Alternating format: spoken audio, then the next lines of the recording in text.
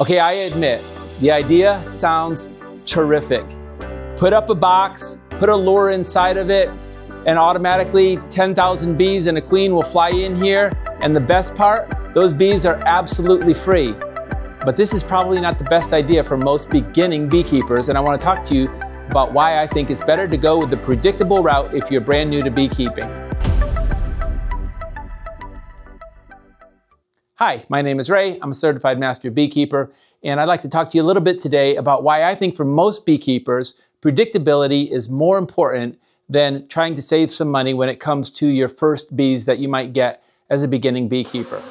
Now, I know there's this romanticized idea that you can just put a swarm trap, kind of like this swarm trap, up in a tree when you want to start beekeeping, and that bees are going to fly in here and it's going to save you a lot of money. As a matter of fact, there's some people out there that would even say you're wasting your money if you're buying bees. You don't know who you're buying from. You can get bees for free. And it is true. And I am actually all for you catching swarms if you can. But there's some factors I don't think that a lot of beginning beekeepers actually think about when it comes to their first hives. And so I want to talk a little bit about that today with you because I'm not sure that catching a swarm is your best first option, but it might be a good second option, backup option for sure. I can't tell you how many times I've had beekeepers try to take this route. They say, yeah, I'm going to put up a swarm trap and I'm going to catch some bees because I don't want to spend money on bees. I don't know if they're going to live. I don't know if I'm going to like taking care of bees, etc. They put a swarm trap up and they wait. They wait for year one, they wait for year two. I know one guy, I think he's waited five or six years for his first swarm to come, and eventually he gave up and he bought bees. Because there's a lot of factors that really go into a swarm actually flying into this trap. It's not a guaranteed thing. I only caught one swarm this past year in my swarm trap. Now, I did get some calls for some other swarms that were in trees, for example, or even in some walls of people's houses. But as far as being able to catch bees in my own swarm trap, well, that's not as guaranteed as you might think. There's several factors that go into this. For example, for you to catch a swarm in your swarm trap, there have to be some bees in your area that are looking to swarm and they have to choose your trap. So when a hive swarms, what it's basically doing is it's reproducing. Half of the colony leaves with the old queen. They usually fly into a tree or a branch within 100 yards of the hive, while the scout bees go in the area and try to find a permanent location, a home. Now, what you want to have happen is you want them to choose your swarm box. But for that to happen, you have to be within range of some bees that are looking for that, and the scout bees have to make a decision that your swarm box is the best place for them to actually go. In some parts of the country, that's really not a problem because there are an abundance of bees in the area and there might be some good chances of you catching swarms. But just be careful. There are some people I've seen, uh, even on YouTube, that make it sound like you just put a swarm trap out and then your bees are going to fly in there. And that might be true for them where they live. But if there's no bees within 20 miles of where you're at or even 10 miles, um, the chance of you getting a swarm is very low. And here's the reason why. Bees typically will fly a maximum of about three miles from their original location to find another location to live in when they swarm. But if there's no bees in that three mile radius, the chance of them choosing your hive at four or five or six or 10 miles away is very low or even down to zero. So you've really got to factor into this whole equation. Are swarms going to be available for you? But there's a couple of other things that I want to point out to you about why swarms may not be the best thing for beginning beekeepers. And let's talk about a couple of these.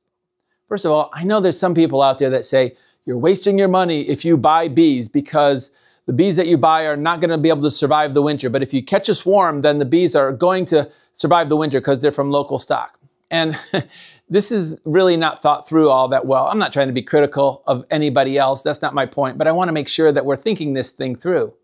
What is a swarm? Well, a swarm is a colony that has divided into two colonies, which is the same thing that a local beekeeper does when it makes a split. It takes one colony and it splits it into two.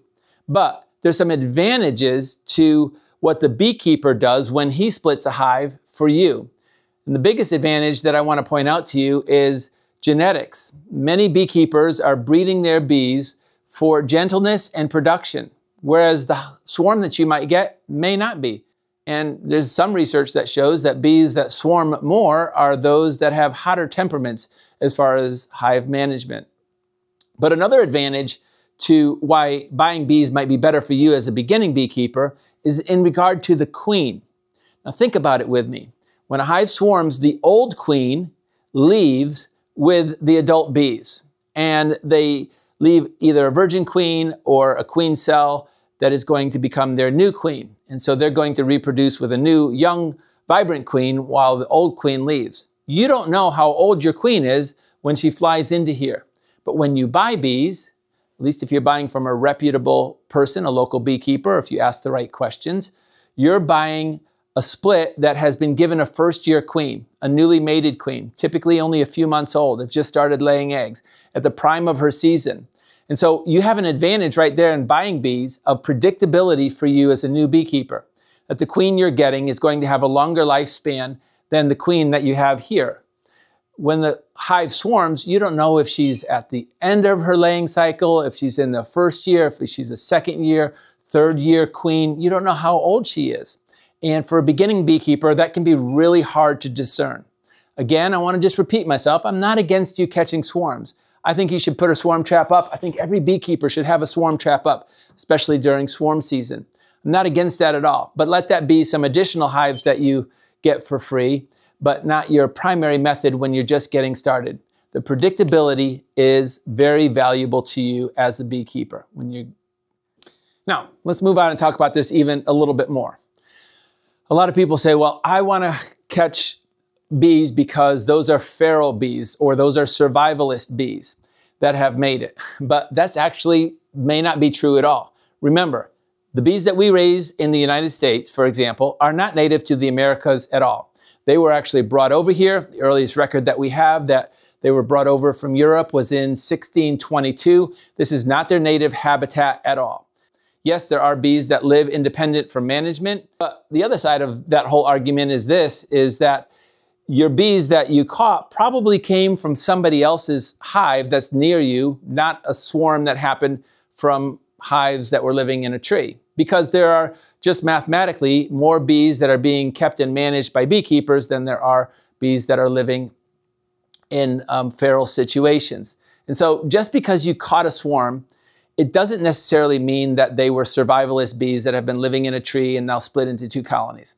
Yes, it could be the case, absolutely, but it doesn't mean necessarily that they are just because they flew into your swarm box. They actually might be from your neighbors three doors down the road that has uh, five or six hives and one of those left. So don't miss make the assumption that because you're catching a swarm that they're going to somehow be a stronger breed of bee because they're survivalists or because they're feral. They actually might be infested with mites or be carrying foul brood disease or bacteria with them. And so you don't really know what you're getting. It doesn't mean that they're going to be ridden with mites. It doesn't mean that they're going to be carrying foul brood with them. They may be just as fine as a beekeeper that split the hives um, intentionally in an apiary. But I just don't want you to assume that because you caught a swarm that those bees are somehow going to be necessarily stronger than what the beekeeper does. Most beekeepers that sell splits or sell nucleuses of hives, make sure that those hives have low mite counts. They've been treating their mites, I'm sorry, they've been treating their hives for mites over the course of the last uh, period of time. And most beekeepers want to make sure that they sell you a good quality product of bees that are not already infested with mites. And yes, every beekeeper is going to have to fight mites, absolutely um, whether you get them from a reputable beekeeper or not. Just because you buy them from a reputable beekeeper does not mean that you're going to be exempt from mites. It's just part of keeping bees today. Another reason why I recommend that you start with a nucleus of bees or a package. I have a whole nother video, by the way, on the differences between nucleuses and packages. You might want to refer to that video. There's advantages to both of them, but for the new beekeeper, I tend to recommend a nucleus if you can afford it. But that aside, let me get back on topic here. To catch a swarm, you need specialized gear. You need a swarm box that is hung at the proper height and that it has the proper lure inside of it and is placed in a proper place, etc. And there's a lot of research that's available to try and help you with that. And again, I'm all for you doing that. I'm not against that in any way, shape, or form. Um, but for the beginning beekeeper, sometimes just taking care of the basic equipment rather than the specialized equipment is all that really you want to handle as you're getting started. Another reason why I suggest that you start with a nucleus is this. Your nuc is going to be available um, possibly earlier and in a stronger form than your swarm is going to be. Now, let me kind of talk this out with you a little bit because I want to make sure you understand what I'm saying and, and, and what not what I'm saying. When you buy a nuc, let's just use a random date. Let's say you buy a nuc on April 1st. That hive is going to have four frames of comb at least. Sometimes nucleus providers have all five frames drawn out. You're going to have a mated queen. You're going to have brood in all stages. You're going to have honey and pollen resources all inside of that little five frame nuc. So that hive is already established. It's like a little mini functioning colony that's reproducing and the uh, whole system is, is on go and there's resources and there's honey, etc. They've drawn out wax. That's a huge advantage. It takes about eight pounds of honey to make one pound of wax. When you catch a swarm, you're starting at basically ground zero. And if you catch a swarm on April 1st, it's going to take you mm, I don't know, at least a month, I would say four weeks at a minimum, if everything goes well, for that swarm to kind of get to the same place as your nucleus that you bought on April 1st. Because that hive needs to draw out comb if you don't already have drawn comb. That queen needs to start laying. Then it's a three week process until that first brood actually hatches. And the hive is not starting with resources of honey and pollen, etc. I'm talking about the swarm. And so all of that still has to take place. And so by the time all that takes place, you've missed four weeks of the nectar flow with your swarm. And so, yeah, you can make a swarm survive and you can help feed it, and there's things that you can do to make it work, for example. But for a new beekeeper, I suggest go with the predictability when you're just getting started of a mini hive that is already established. And then there's another factor that we need to talk about, and that's the abscond factor.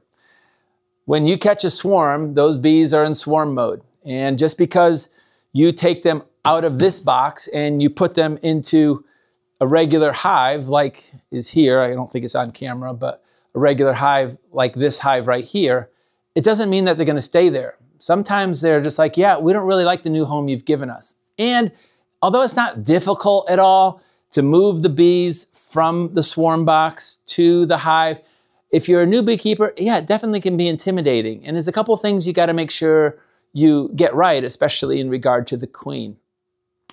And then there's the whole, are you going to be ready for it factor? When you buy a nuc, it's predictable. You know it's going to be available on such and such a date. And if all things are equal and the weather cooperates, you can pick up your nuc and be prepared to really get your beekeeping journey started. A swarm, well, you don't know actually when it's going to happen, if it's going to happen at all for you. And so there's the whole predictability. Like when you're getting started, I think it's very important that you be predictable. So when should you catch a swarm? Hey, catch one whenever you want. You see one in the tree, be prepared. Carry, um, let me grab one here. Carry a nuc box, a plastic nuc box like this in the back of your car. Put a couple of frames of uh, comb inside of here. And if you see a swarm hanging from a tree or your neighbor says, hey, I heard you're taking up beekeeping, I've got a swarm in my tree, go and grab it and get it started. There's a lot of learning that can take place. I try to catch all the swarms that I possibly can. I love free bees. We all love free bees. So yes, and if you want to set up a swarm box right from the beginning, I say go for it, absolutely. But your first year as beekeepers needs to be about learning and establishing uh, your hive and learning how to inspect and learning how the whole hive works, etc. And so I would say to those people who say you're wasting money if you're buying bees, like they're not going to survive. No, I wouldn't say that that's necessarily true. If you buy bees from a reputable local beekeeper, you have a really good chance that your bees are going to do just as well as his bees are. But again, the big advantage, you're going to get that younger queen. You're going to get an established hive. You're going to have brood in there already. You're going to get a better start. The predictability for you is really worth the extra money. Now, you say, Ray, should I not do this at all? Should I just really, I can't afford a nuc? Well, okay, first of all, beekeeping is expensive. I just, there's just no way around that. But I would say, if you want to try this, there's nothing wrong with it. But I think I'm just kind of reacting to some things that I see that says like you're wasting your money, you're doing a stupid thing, you're making a bad decision as a beekeeper if you buy a nucleus of bees. And I would say, no, I don't think that's necessarily true. A swarm is good and I'm all for them, but just keep in mind that the predictability factor is going to give you a better start as you get started with keeping bees in your new journey. Hey, this is Ray. Thanks for joining me today. If you have some comments, suggestions, put them down below. Maybe you disagree. Maybe you think, hey, buying nucleuses, I've never bought a nuc in my life. All I want to do is catch swarms, and maybe you feel that way. Put it down there. I'd love to hear what you have to say as well. Share your experience. And if you have not hit like and subscribe, please do so. I'd love to have you join me on the next video, which I will see you next week. God bless. Take care.